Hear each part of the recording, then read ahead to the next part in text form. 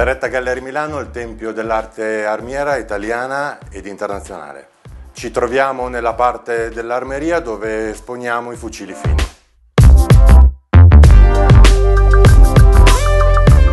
Tra i fucili fini, dietro di me degli SO e questa pregevole coppia di Imperiale Monte Carlo.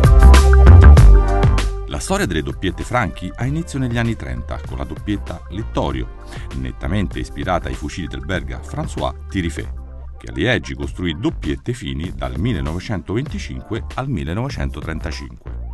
Alla Littorio seguirono la Principe, a cani esterni e la serie imperiale.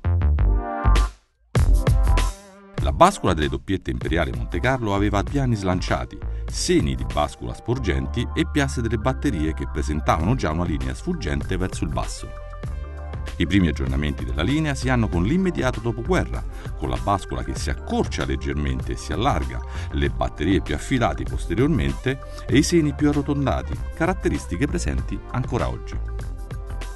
Le incisioni che all'inizio erano all'inglesina o a doppio ricciolo, specialmente per l'opera del maestro incisore Gino Medici, si fanno più ariose, secondo il gusto italiano.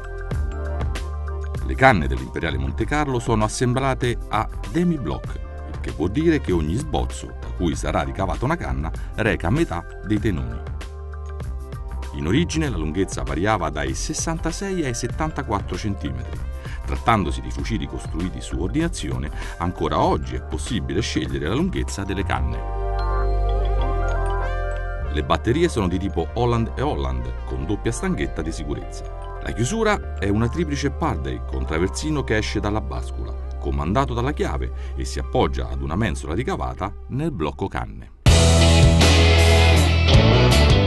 Fra le caratteristiche originali tipiche di queste doppiette troviamo l'estrazione automatica dei bossoli e grani portapercussori sulla faccia di bascula.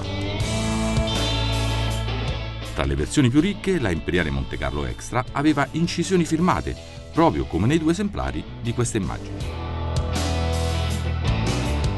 Anche se balisticamente inferiore al sovrapposto, la doppietta ha una maneggevolezza superiore, con una maggior facilità di tiro di stoccata per via del largo piano di riferimento costituito dalle due canne affiancate. Oggi come allora, la doppietta imperiale Monte Carlo realizzata da Beretta resta un riferimento assoluto nel mondo di questo tradizionale genere di fucili da caccia, come mostrano queste immagini riprese in Beretta Gallery a Milano. Beretta Gallery è un luogo di incontro.